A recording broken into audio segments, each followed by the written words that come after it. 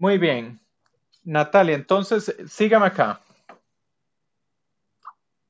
Voy a hacer un diagramita para, para especificar esto de la mejor manera. Vamos a tener lo siguiente, Natalia.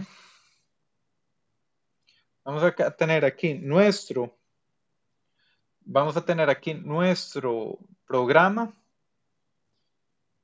y vamos a tener aquí la memoria RAM. en nuestro programa está dividido en bloques. La memoria RAM está dividida en bloques. Cuando nosotros creamos nuestro programa, lo hacemos desde el punto de vista lógico, que nos hace pensar que nuestro programa está de manera contigua en la RAM, y está construido de manera contigua, empezando por las direcciones menores y descendiendo hasta las direcciones mayores. Y vamos a tener la RAM, que es la en donde efectivamente se almacenan cada uno de estos bloques. En el medio va a existir un dispositivo, va a existir un dispositivo conocido como Memory Management Unit. Y este dispositivo, conocido como Memory Management Unit, Voy a tenerlo aquí. MU. Va a recibir lo siguiente. Vea lo que sucede, Natalia. El procesador, el procesador necesita acceder un dato de memoria, ya sea la caché, dependiendo del esquema, no importa, necesita acceder un dato. Él le da, a la Memory Management Unit la siguiente información. Le dice, necesito un dato. Este es el número de página. Y este es el offset.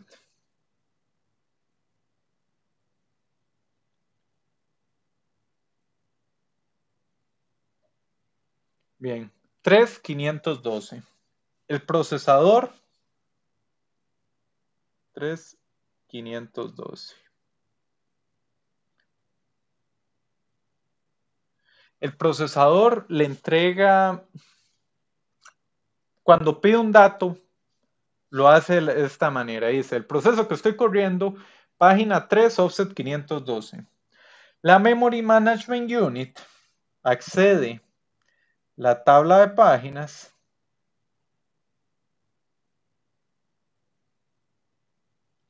que la tabla de páginas la vamos a tener acá. tabla de páginas.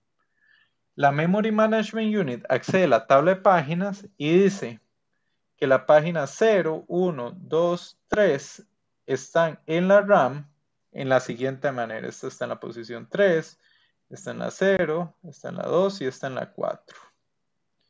Quiere decir que efectivamente en RAM, por ejemplo, en la posición 30123, aquí está la página 0. En la posición 0 está la página 1. En la posición 2 está la página 2. Y en la posición 4, 0, 1, 2, 3, 4 está la página 3. ¿Qué hace la Memory Management Unit? La Memory Management Unit hace esta traducción. Se fija en la tabla de páginas y dice, ah, mira, lo que me está pidiendo el procesador está en la RAM en la posición 4 con offset 512. Natalia, ¿viste, ¿viste por qué se pasó de 3 a 4? Sí, profe. Muy bien. Entonces, ¿qué hace la RAM? La RAM, la Memory Management Unit, recupera el dato y se lo pasa al procesador. Entonces, la Memory Management Unit se encarga de hacer esa traducción. ¿Qué sucede Natalia, esta tabla de páginas, ¿dónde crees que está almacenada?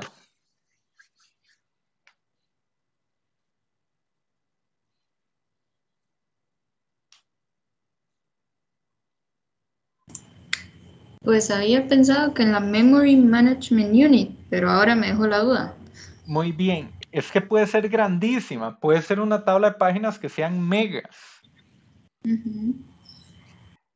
El problema viene en eso que vos decís, uno desearía que esté en la Memory Management Unit, pero no es así. En el mundo real, o el mundo de una Memory, memory Management Unit muy purete, si tenemos el CPU aquí, que le pide direcciones a la Memory Management Unit, la Memory Management Unit traduce las direcciones para ir a RAM, vea lo que sucede, Natalia. El CPU le dice, necesito dato 3 con offset 512. La Memory Management Unit lo recibe. Tiene que ir a RAM, a la tabla de páginas, ver la traducción, obtener la traducción, realizarla, para luego ir a la RAM, al bloque específico, y devolverle al CPU esa información. ¿Cuántos accesos a RAM estamos haciendo ahí, Natalia? Dos. Dos. Bueno, sigue hablando. Dos. Primero, para acceder a la tabla de páginas. Y segundo, para obtener el dato. ¿Cómo te imaginas que eso puede ser a, em, a largo plazo? hacer terriblemente lento. Terriblemente lento. Cada acceso del procesador a un dato en la memoria RAM involucra dos accesos. Cada vez que el procesador necesite algo, se necesita ir dos veces a RAM. Esto es terriblemente lento. Entonces, ¿qué es lo que se hace, Natalia? ¿Qué, ¿Qué, fue lo que se pensó para solucionar este problema? Hacer un caché. Y este cache se llama TLB en la Memory Management Unit. Translation Look Aside Buffer. Concepto importante, Natalia. En el TLB no está la tabla de páginas completa. Ahí para, para, que quede, para que quede específico, en el TLB no está la tabla de páginas completa. Está solo una fracción de esta, pero no está la tabla de páginas completa. Y la fracción que va a estar son las traducciones utilizadas con mayor frecuencia. Entonces, entonces, a través de este pequeño caché, vamos a lograr, si tenés que inventarte un porcentaje, ¿cuánto por ciento de las veces va a encontrar lo que necesita en el TLB?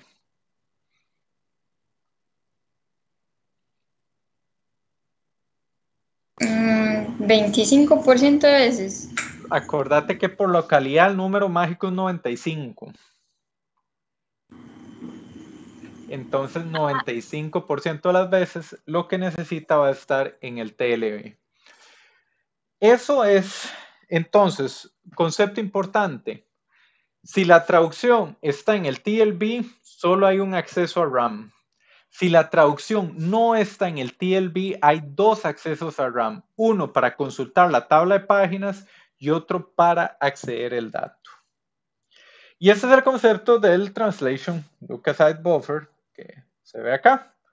Básicamente es un pequeño caché. Acá están las, acá están las siglas para que, que lo veas o lo voy, a, lo voy a copiar acá. Es translation. Look. Ajá. Escríbelo más abajito o a un costado porque no, no sé por qué nunca he podido ver la imagen de arriba, digamos. Muy bien, Natalia, para eso tenés que irte donde aparezco yo, aparecen tres puntitos y dice fit to no sé qué. Váyase mi nombre y le das tres puntitos. Ah, Buenas, profe.